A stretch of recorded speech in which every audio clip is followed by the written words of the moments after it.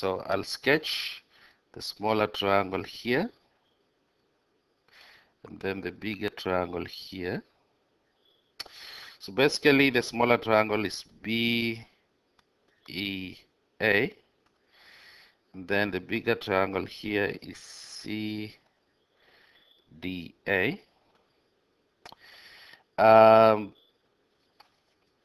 so basically um, BA is 4.5 so that's 4.5 AE5 uh, we don't have the base here the base is 5.6 and then we have 8 that's about it. So the first step is um, they want us to find uh, BE so to find BE actually I can work it out up top here so BE, we can just take the ratios of the length. So BE over CD, which is 5.6, will be equal to um, AE, which is 5, over AD, which is 8. So basically, uh, we can clearly see here that BE will be equal to 5 multiplied by 5.6 over 8 so BE will be equal to um, 3.5 if you plug that in the calculator. And then part B, they want us to find um, BC. Now to find BC, we'll have to find AC first. So step one, find AC. Now to find AC, we can um, use the two triangles that we have here. So AC, this one over 4.5 um,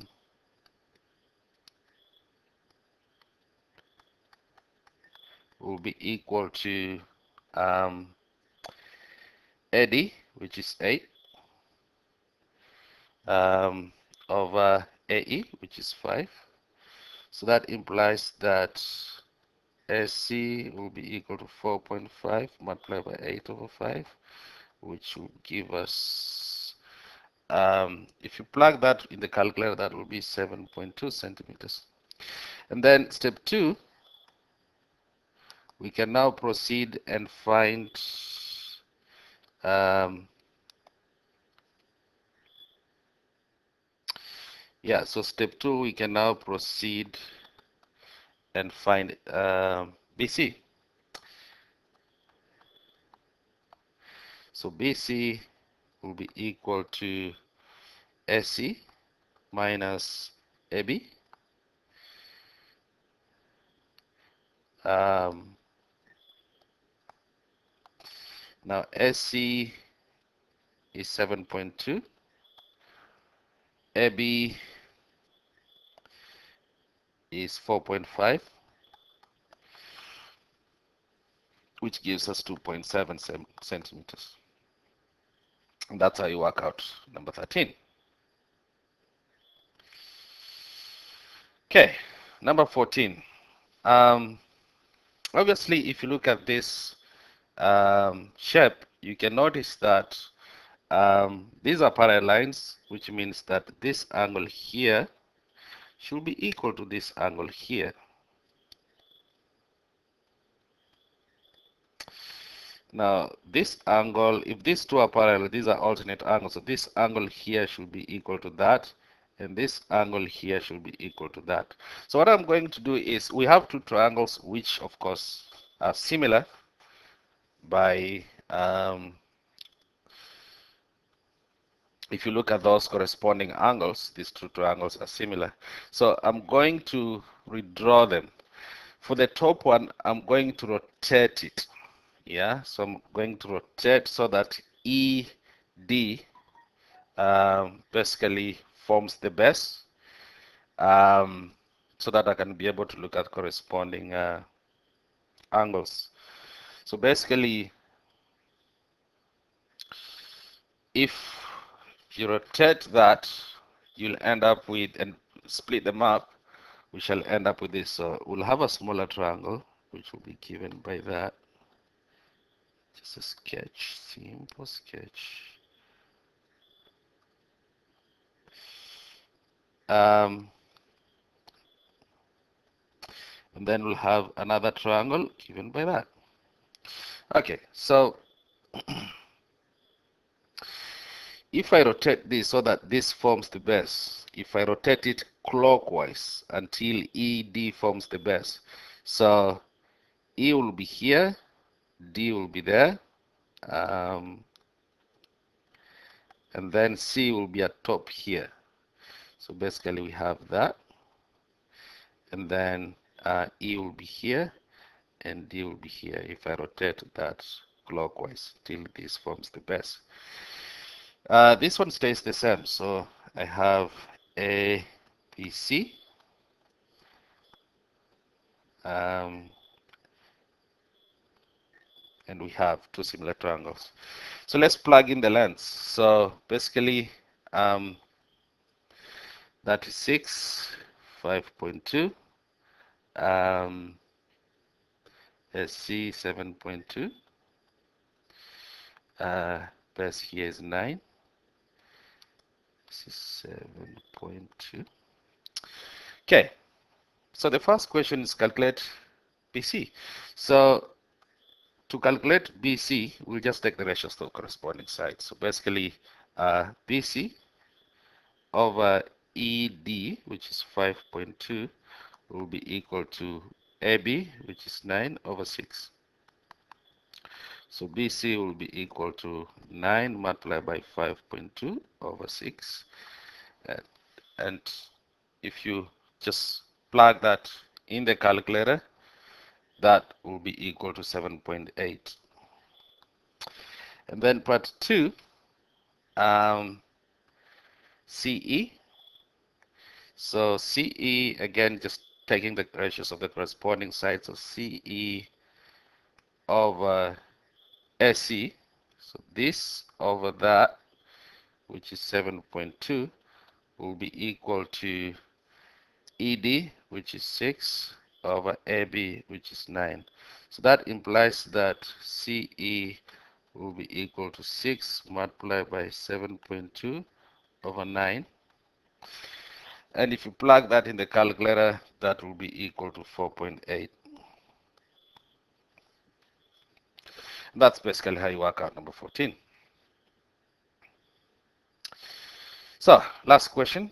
Um, triangle PQR, uh, center O. Uh, triangle PQR is an enlargement center O of triangle ABC.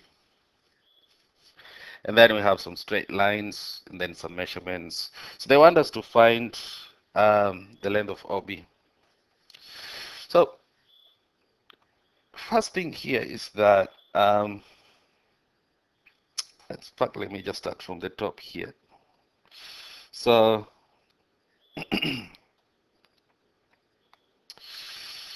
let OB be equal to X. So let this be X. So let OB be equal to X. So what, what has happened here? What has happened is that the smaller triangle has been enlarged to the bigger triangle and the center of enlargement is O, which means that um, the two triangles are similar.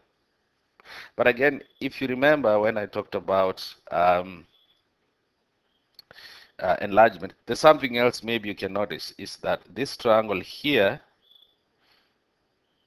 OAB is similar to this triangle here OPQ. That's another thing. So let me just write a statement about that. So basically, because triangles OAB, so because triangles um, OAB and OPQ are similar,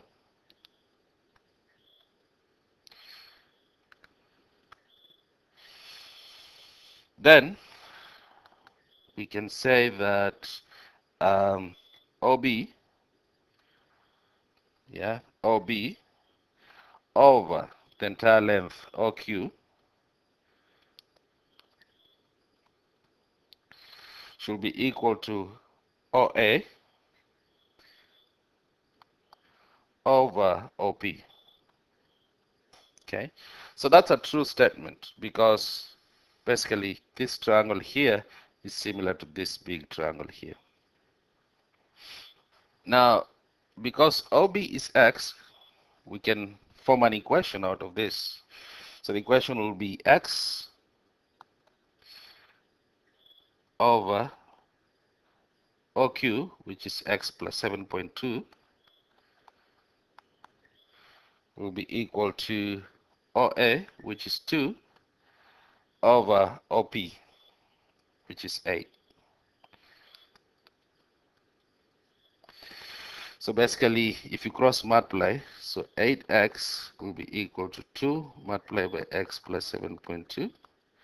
So 8x will be equal to 2x plus 14.4. Um, and then you subtract 2x, you subtract 2x, so you end up with 6x is equals to 14.4. Then you divide by 6 on both sides.